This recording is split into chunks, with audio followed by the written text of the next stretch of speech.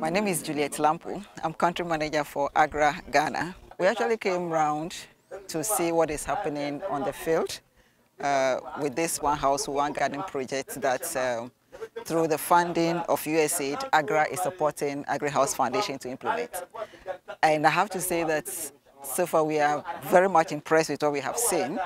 The work that has gone on or is going on on the ground, the participation of the mainly women that we have seen around. Of course, we see some men, but we've seen quite a lot of women around here.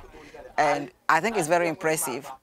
The work that has been done with raising the vegetables and the fact that these women are being taught how to use the things that are in their environment, including even using neem as pesticide, and the fact that they can plant in any medium at all, it makes it very easy for the women to be able to do without incurring too much cost.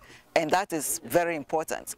But more so the fact that this has huge impact, hopefully, on the livelihoods and nutrition of these women when these vegetables are available it's going to impact on household nutrition, but it's also going to impact on incomes because we expect that there will be there will be surplus production that they'll be able to sell to the market, and that will bring additional income to, to the households, and that is critical for food security. And we are happy to be part of this initiative.